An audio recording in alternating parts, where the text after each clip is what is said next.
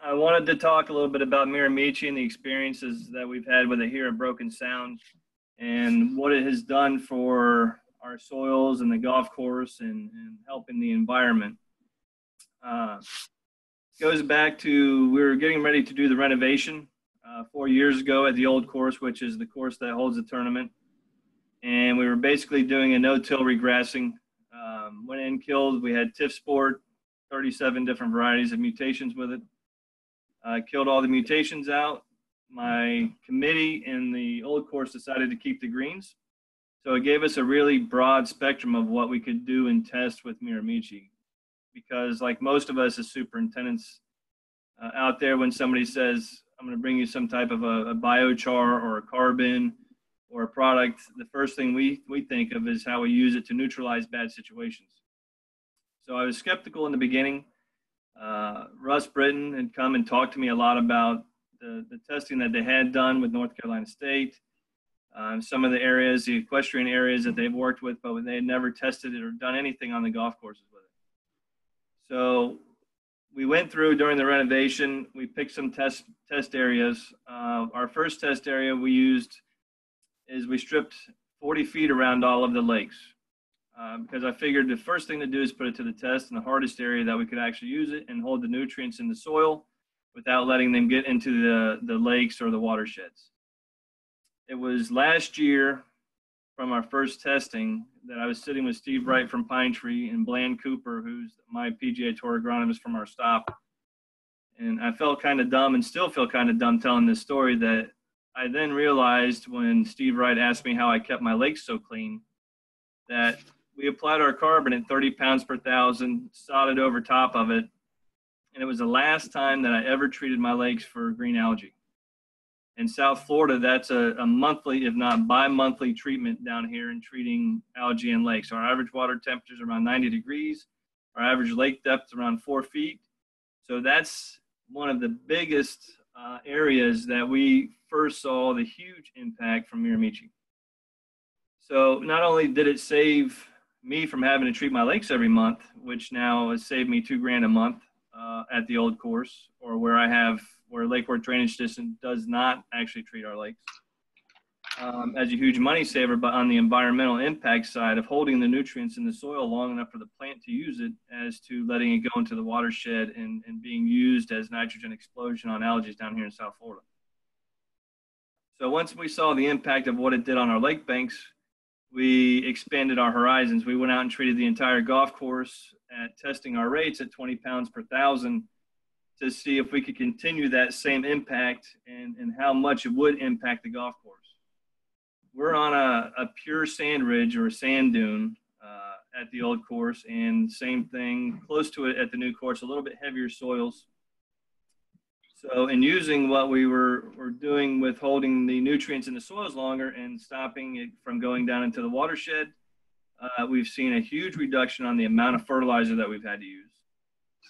And our disease pressure has gone almost non-existent. And once I get farther into how we built the new course with and how it impacted that, you'll see the stories here from how we tested at the old course and, and used it to build the new course. So we kept seeing reductions. Fairy ring was a big issue for us. Uh, we treated it one time this year, uh, and it was more of a preventative where we saw a little bit coming, where before we were spraying three, four, five, six apps a year on our fairy ring problems down here um, which took us into the next level of last summer where we took it and we put it through a DryJect system.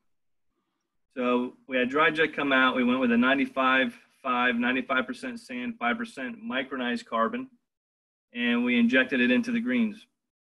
We did a test green with uh, James Sprinkle down here, and we put it on a straight sand California based green where we were testing some varieties of turf for greens we did one pass with just air, one pass with straight sand, and then the third pass was the 95.5.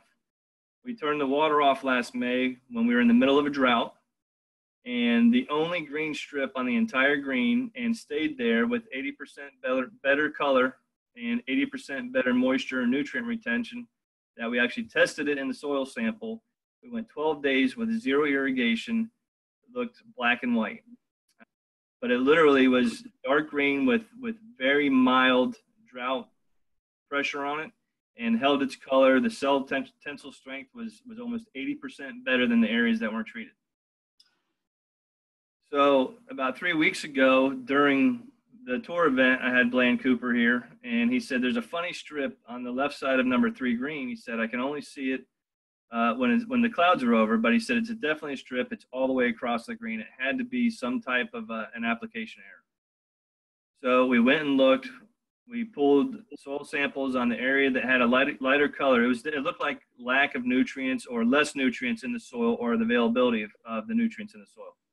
So we went through. We pulled two soil samples.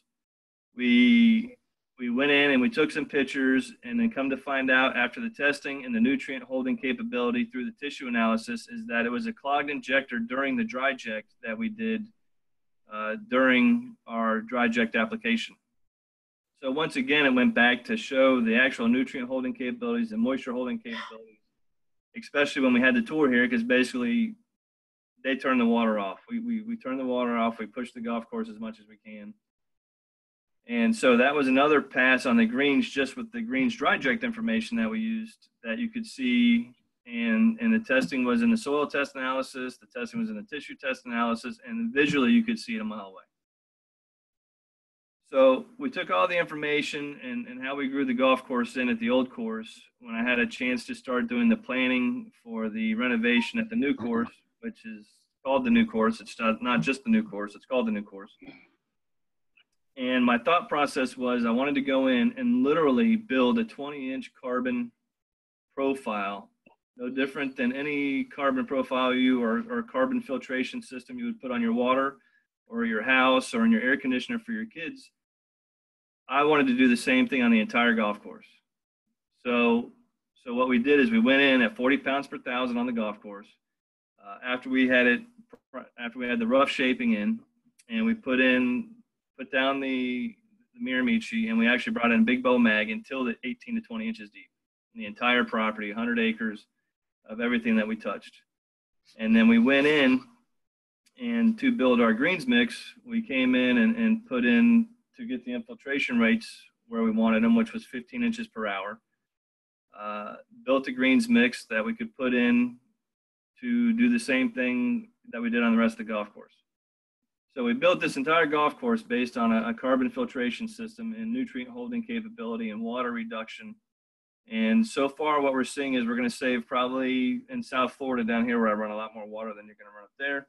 We're looking at saving 35 to 40 million gallons a year. We reduced our heads on the golf course by 120 uh, irrigation heads. And we opened two and a half months early. So obviously my membership was extremely happy. We used 25% less fertilizer than I used at the old course for 80 acres on the growing. And we opened it, we opened the old course two weeks early. We opened the new course two, two months early. So the, the only differences that we've done on both golf courses was the amount of Mirimichi that we actually used on both of the grow-ins and when the application rate was because when we were testing it at the old course, I didn't know what I didn't know. So now that I knew what I knew for the new course, it saved my membership a ton of money. We opened the golf course early, and it is is unbelievable product. I just had I've had probably 15 to 20 different people come and look at the greens mix. Uh, we we tested the roots three days ago. I had um, Via Meisner was here looking at a new irrigation system. They asked what we did for our greens mix we went out and showed them. I pulled a cup. The greens are 137 days old, and the roots roots were breaking out of the bottom of the cup when we pulled the cup. So, so when you look at the benefits of using Mirimichi to uh, even even a lot of the other biochars, I've had a lot of people come up and ask me, you know, what are the differences? Um, why do you believe in Mirimichi so much? You know, what are the differences that would impact us at our golf course? It's the way that it's made, it's the way that it's handled, it's the way that it's blended, and and the ability for them to be able to adjust. You know, infiltration rates alone was was unbelievable. I worked with uh, them working with Seminole uh, Hope over at Tifton Labs. She called me and she said, Shannon, they want a they want an eight inch perk rate. And she said, I've never been able to do it. I've never seen a product that was capable of doing it. Uh, what do you suggest us do with the rates on the Mirimichi? So we tested an 80 20, uh, an 85 15, a 90 10, which I'd already known that's what mine was. So I knew that was around 15 inches an hour. And we started playing with particle sizes. So we went in, she did all the testing. She called me back. She said that she had, to, she was sorry that she had to apologize for me, that she got a perk rate with the micronized carbon or the finest particles that we use. We got the perk rate down to 8.4 inches per hour. So the differences in using Mirimichi and a lot of the other biochars is that the particle size and distribution is so consistent that we can actually adjust an infiltration rate on your greens mix by half an inch per hour. That's hard to do with you know i've had profile greens i've had usga spec greens i've used um, multiple types of peat when i built greens. None have had the ability or the consistency to be able to go in and adjust a perk rate on a greens profile by half an inch per hour so so that's that in itself is a testament to the abilities of what mirimichi has the capability of doing so with that ability, I started talking to up in Charlotte, uh, TPC. We were started playing with some rates there, and, and a lot of people want to come in and use half peat and half carbon. Uh, a lot of time, the first reason I ask is, is why would you want to to mix the two or get the consistency of two? You have one that's going to break down a lot quicker, and then you're going to have an inconsistency in there where it breaks down and settles into the layers of your profile, especially on your greens. I have a, a, a, person that's on the other coast that came over about a month ago and was wanting to do the same thing. So I asked him, I said, you know, it's just, I understand the, the skepticism of, of being able to jump out there and making huge decisions for our membership and, and for our clubs. Luckily for me, uh, my club is very environmentally friendly, sensitive. They allow me to do things that a lot of other clubs would not do.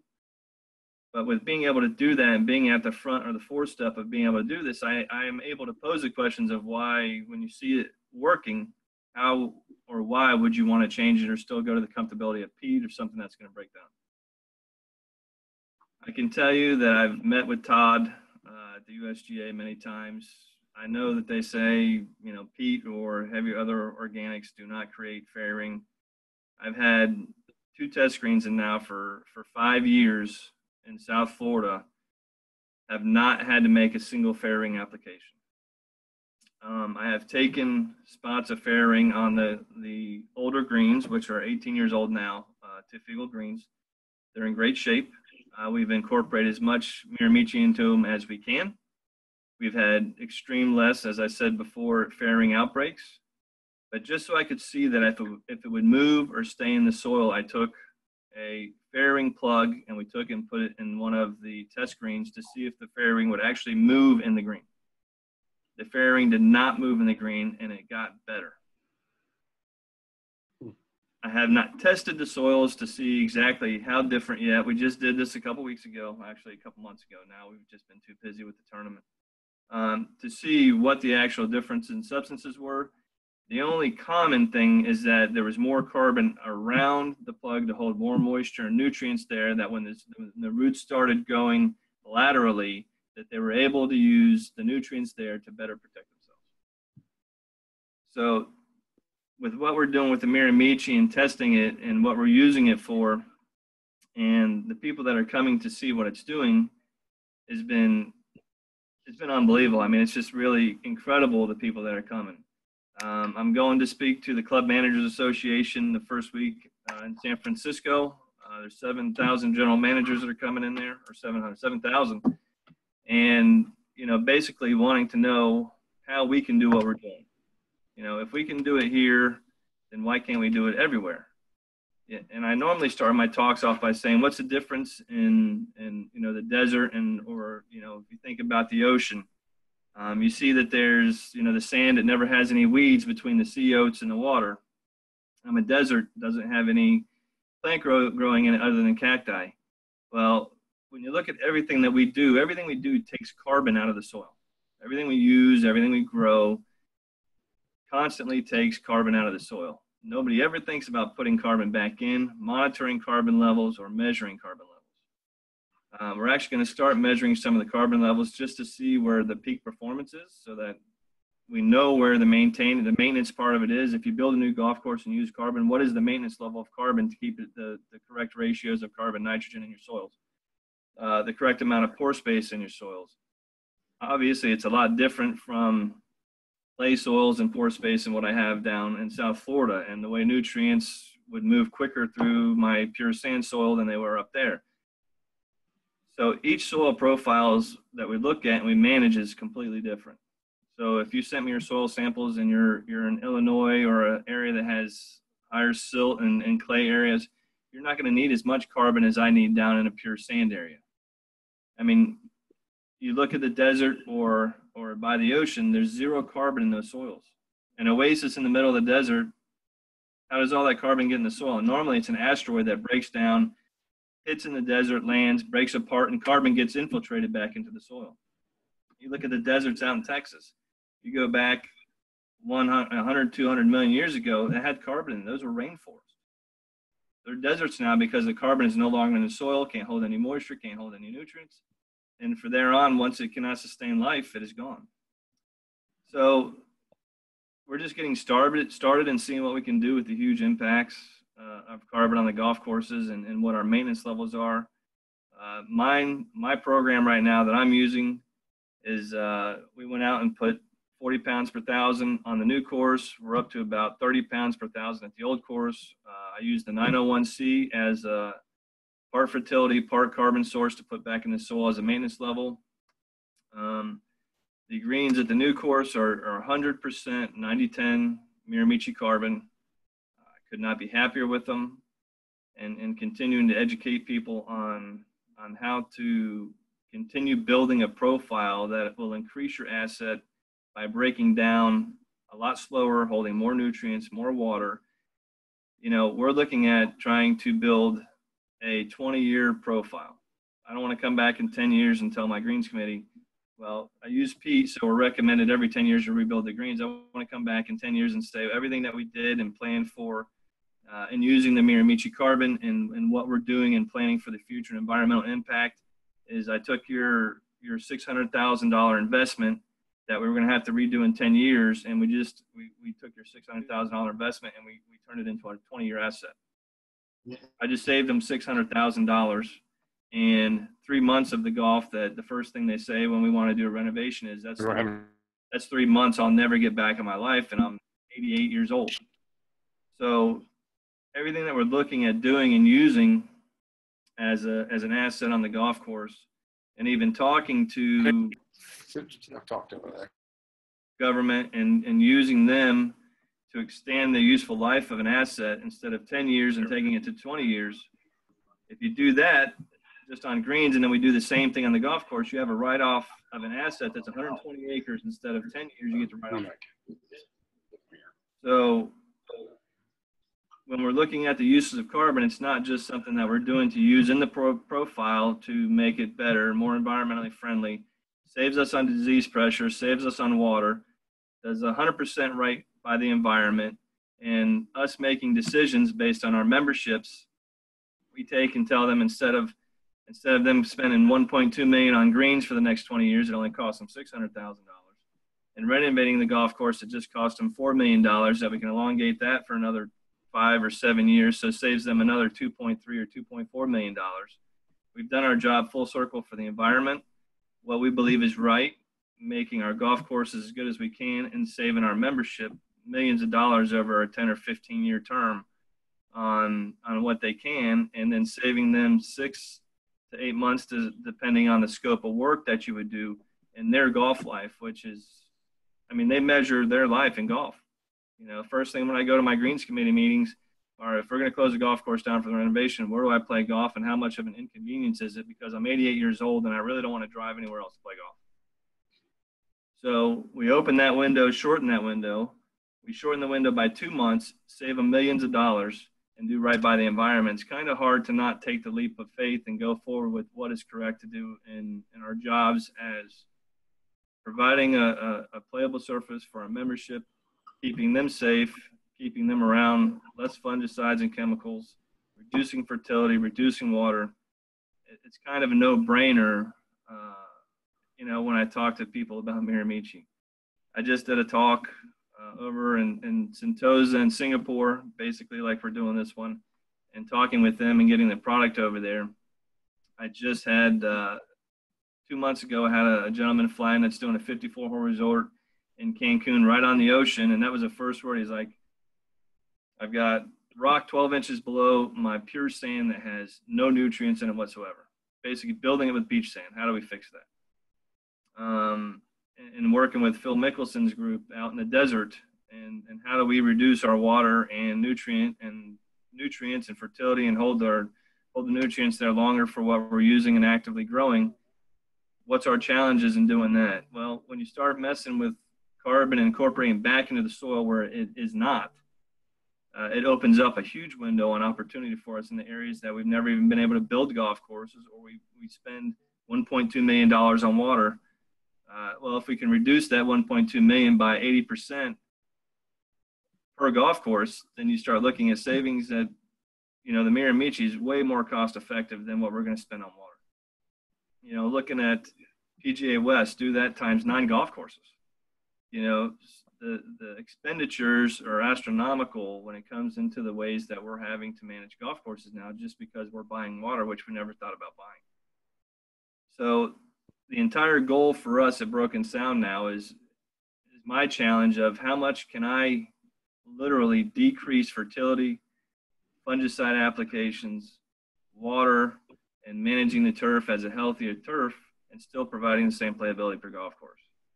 And Mirimichi has been a huge impact on what I've done here at Broken Sound, including with my general manager who sat down with Russ uh, many times. We've gone over it. We're, we're fifth in the country to be geo certified, first to be ever recertified. Um, we won the 2016 ELGA award. Ron Whitten with Golf Digest sat in my office talking about carbon for two to three hours. They're getting ready to do a whole write up on on what we're doing here just with carbon. So, you know, from where I sit looking down is we just started touching the surfaces, which we're all looking for the difference in technology and computers and irrigation systems. and this seems to be, or this is for me, the biggest jump in technology that we can do with managing our soil profile. Um, for me, that's probably the, the majority of what I've got to say. If I have any questions, Tell them, Rick, Shane, can you hear me, Shane? I can. Okay, great. Uh, I'm gonna, maybe if anybody has any questions, sorry about the technical difficulties, um, but I'm gonna pass them on to you. Um, does anybody have any questions for Shannon? Yeah. Is there another method besides dry jacking to get it into an existing turf? Is there another method besides, did you hear that? Besides dry jacking and get it into the turf? Yes, uh, before before we started playing with the dry jacked, we actually were top dressing. I had the 95.5 uh, sanded blend. It's, it was dried so that we could put it out. We put it out dry, and we did it two ways. We were top dressing with it every three weeks at a light rate with uh, hand spreaders, like we normally would do with dried sand. We incorporated it that way, and then we also incorporated it with the bigger particle sizes. When we shut down to aerify, we went in, we aerified, we drop spread the carbon into the holes and then sand top dressed over the top. Uh, that's how we did it for the first couple of years until we played with the DryJect technology. Same same grass thing on the old course as the new course. Same Same grass. same type. Is there same grass on the old course as there is in the new course? No, uh, the old course is TifEagle greens with celebration, wall to wall everywhere else, Paspalum tees, and the new course is latitude 36 and Sunday ultra dwarf.